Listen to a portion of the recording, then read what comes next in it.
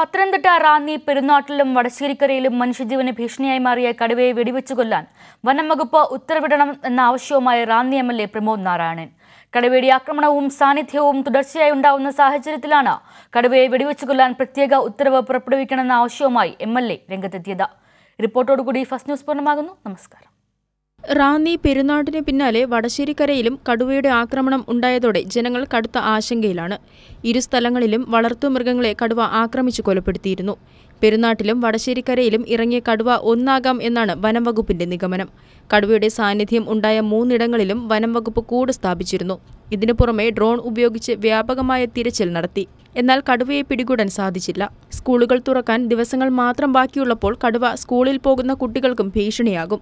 തോട്ടും തൊഴിലാളികളും കടുത്ത ആശങ്കയിലാണ്. ഇത്തരം ഒരു സാഹചര്യത്തിലാണ് കടുവയെ വെടിവെച്ചു കൊല്ലാൻ പ്രത്യേക ഉത്തരവ് പുറപ്പെടുവിക്കണമെന്ന ആവശ്യവുമായി Ranni M L A Pramod Narayanan രംഗത്തെത്തിയിരിക്കുന്നത്. കടുവയെ വെടിവെച്ചു കൊല്ലാൻ അടിയന്തര ഉത്തരവ് പുറപ്പെടുവിക്കണം എന്ന് എം എൽ എ നിലയിൽ ആവശ്യപ്പെടുകയാണ്.